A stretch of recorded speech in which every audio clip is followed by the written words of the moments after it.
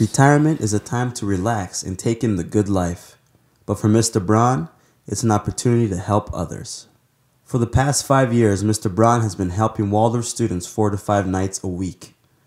Um, I feel God has given me an ability to, to teach, and therefore I want to use that to help other people. Kathy Abraham is preparing for a second career as an elementary teacher. They do anything they can to make sure that you pass the class. I just, I think they're the most wonderful professors and teachers that I've ever had, ever seen. Even with my kids growing up, I've never seen anybody with the dedication that these guys have. Kathy wanted to help Mr. Braun be recognized for his superior volunteerism and his dedication to his students.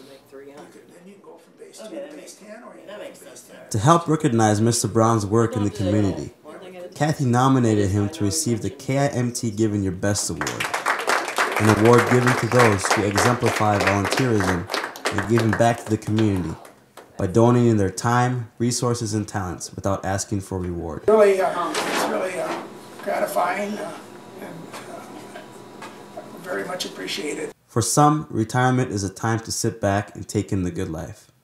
For Mr. Braun, it's about helping others. Wish there was more of my For Wall TV News, I'm Sitraka Rakotoarivelo.